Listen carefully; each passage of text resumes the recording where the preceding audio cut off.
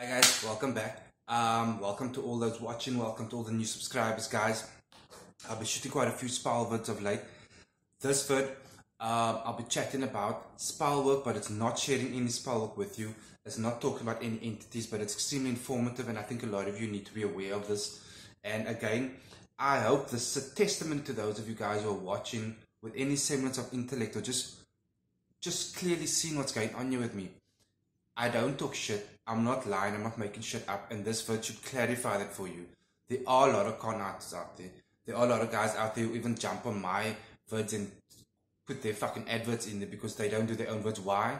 Because they don't know what they're talking about. They have nothing to share. They have nothing to teach. So as I'm sharing, as I'm teaching, like the vid, share, subscribe. And if you do need my services from Spellwork, guys, whether it's working with the demons, um, the archangels, Santeria, or if you need a an in-depth tarot reading, you hit me up. And I'm hoping you can see by now that I do know what I'm talking about, okay? So I'm going to share with you in this video what I'm titling, and it might not make sense at first. Just give me a minute, this video won't be long. The antipsychotics of Spellwork. Now, I'm pretty well versed in psychology as well, and I have a decent, pretty decent knowledge of antipsychotics, antidepressants, how they work and the chemical makeup of these things and the, our chemical makeup as well. So this vid is just general knowledge on spell work because flat out they don't always work at first.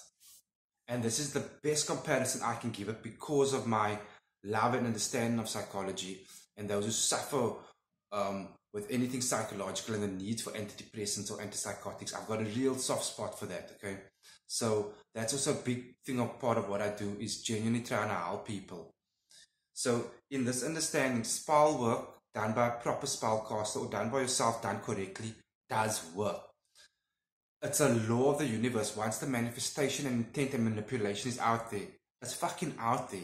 You, it cannot be denied. It just sometimes takes detours or it's slower than what you want it to be.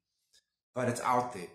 So what happens is when it doesn't seem to work, this is how it works. Every person on this planet has a completely different energy signature and internal makeup to the next person, okay? So every single spell does not have the same effect on that same person. A spell on you might happen within three days and last for six months. The next person, if I put that same spell on them, it could take three weeks to take effect on them and only last for a day or two. That is why compared to antidepressants and antipsychotics, and you can go and research the shit. I'm not making it up.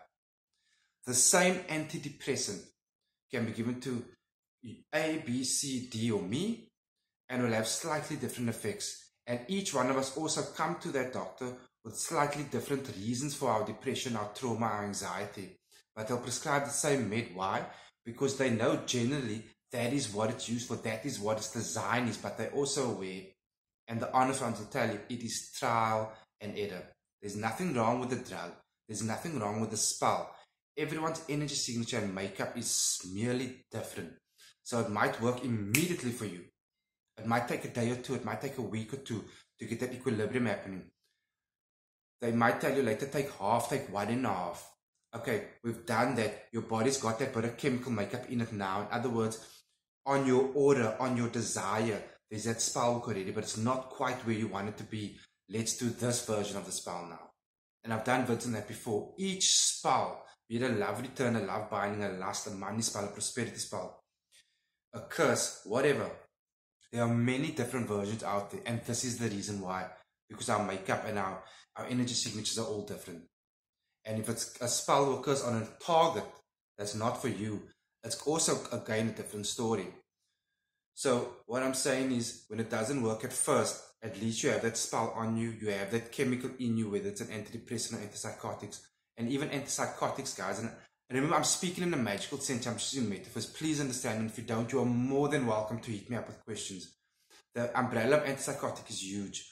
And I hate the term antipsychotic actually because generally speaking, people think you're fucking crazy if you're an antipsychotic which is bullshit. Okay, there are many different cases where antipsychotics come into play.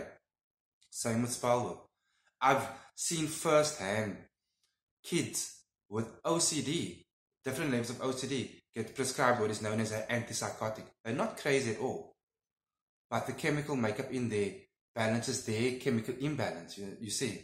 So if you don't have OCD and if you are not psychotic or psycho- have any psychosis whatsoever and you take it, you'll have a completely different outcome. It's not the drug, it's the person each and every single time. So if you've ever had queries on why this didn't work, why this didn't work, work first with an honest spellcaster. I will tell you straight to the bat, there's always this percentage of chance. Let's go for it. The energy is at least on you. That is the bare minimum out. The energy and intent is on you. If we see it doesn't quite work exactly how you want, we do a different variation of it, possibly from a different entity, a different angle we come, or, or if it's a curse, we go darker, we go harder, or whatever. And eventually you find that equal, that magical equilibrium that works for you, your desire, and your energy. I hope that makes sense because this is actually a super important vid. So all I ask for this, if you never hire me for any of my services, fine. Share the vid. Guys, be blessed.